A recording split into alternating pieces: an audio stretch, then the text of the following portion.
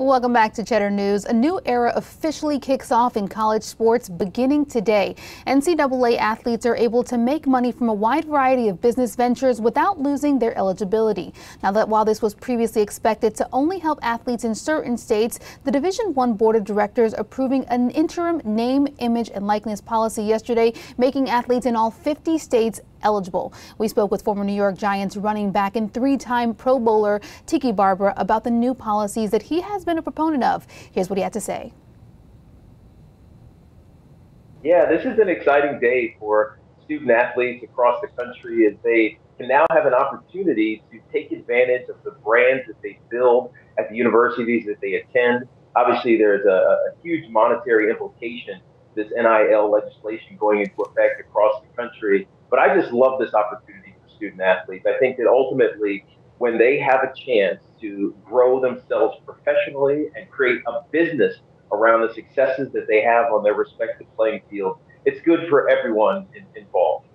You know, someone who played four years at the University of Virginia, then of course went to play uh, in the NFL with, in my opinion, one of the best teams in the country, the New York Giants. Um, I wonder if you can take yeah. us.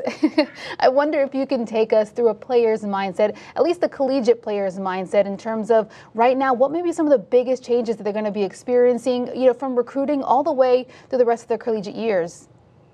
Yeah, there's a lot uh, to unpack here, Alicia. And I think one of the great things for student athletes is that and now they can look at different platforms and, and, and look at their brands and really pay attention to what they're trying to put out to the public. Their brands matter. So they, they're not just tweeting or, or, or, or putting out on social media things that are just, just random and nonsensical. Uh, it forces them in some ways, at least if they're conscious of this, to be smart business people with their brand. And it's why I'm excited to be a part of a company called Display, which is a social media app that allows uh, influencers, in this case students, athletes, to share in the ad revenue.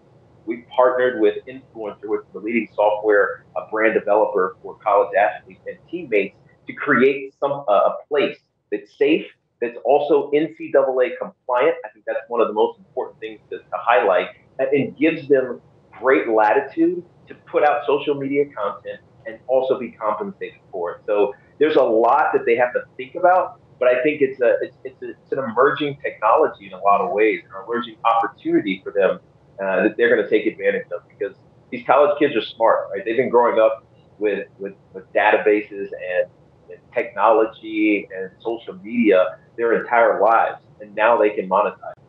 Yeah, a lot coming at them, you know, certainly today, but there's a lot of, you know, opportunities and resources out there. Uh, certainly the one that you just mentioned there with, with your company. I wonder if you can just speak to the interim policy going into effect in all 50 states and how critical that may or, or may not be, especially in terms of, you know, had it played out in just certain states, the effect that that would have in terms of, you know, collegiate athletes, you know, going to certain states versus the others and the overall effect on, uh, you know, the sport that's a that's a great point, Alicia. If, if certain states had had NIL legislation available for student athletes and others had not, the competitive the competitive advantage would have been enormous.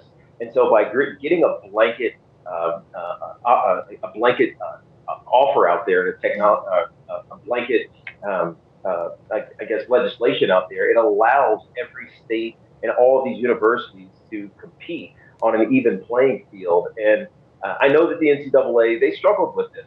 Uh, let's be honest. They asked Congress for help, and when you ask Congress for help, they take it and they run with it. There are a lot of competing bills uh, that ultimately were kind of running a, uh, against what the NCAA would have wanted, and so they they they were forced to make a decision.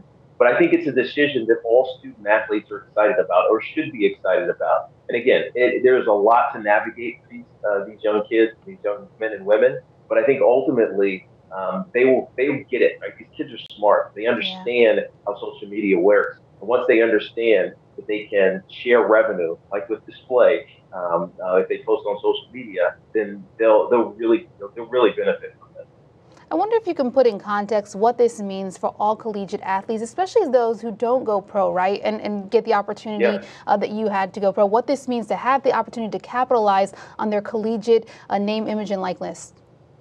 Yeah. So here's the thing: like we think about this this this changing monetary policy for student athletes as football and basketball, maybe baseball, hockey, some of the revenue sports.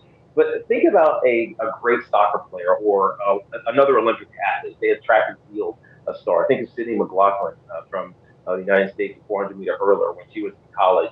Uh, she becomes viral because of how talented she is. And it's not a money sport, track and field, but she becomes viral. Um, heretofore, she hasn't been able to monetize on that. Now, now, if she's a freshman or a sophomore, track and field, lacrosse, soccer, uh, volleyball player, and, and, and does a great job at building a brand, then she can not only share and ad revenue, but she can also have opportunities off of their respective playing field. So, say they want to run a camp, uh, say they want to run some sort of um, a side business in their off season in order to make money off of the brand that they've developed as student athletes, they now can.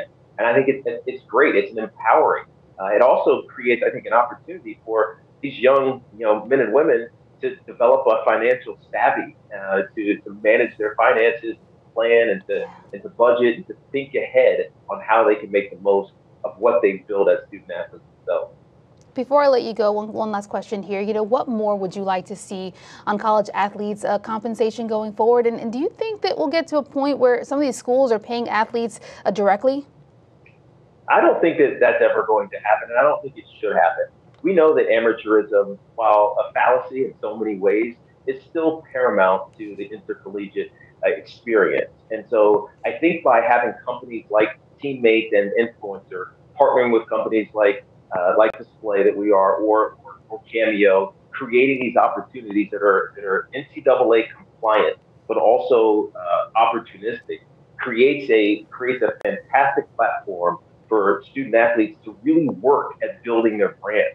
And again, this is these aren't handouts. And I think a lot of people will, will hear this NIL legislation and think, well, they're just going to get money now from the school. It's not what it's about. It's just like any influencer wanting to build a profile and build a brand for themselves and be able to monetize that brand. These student athletes now just have the opportunity to do that. They still have to do it, but they have the opportunity to do it. I think paying directly is um, that could get dangerous and that could get very dicey.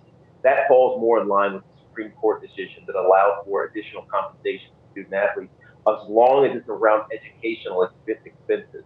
This is this is significantly different in NIL. This is really about branding and having different companies who support this type of action for student athletes, diving in, um, you know, making a name for themselves, borrowing the brands or partnering with the brands of these student athletes, and doing some really cool and interesting campaigns. And I know I'm excited about it. I'm not even a student athlete. I know these student athletes are, are going to relish all right, thanks to Tiki Barber there, former New York Giants running back and three-time Pro Bowler.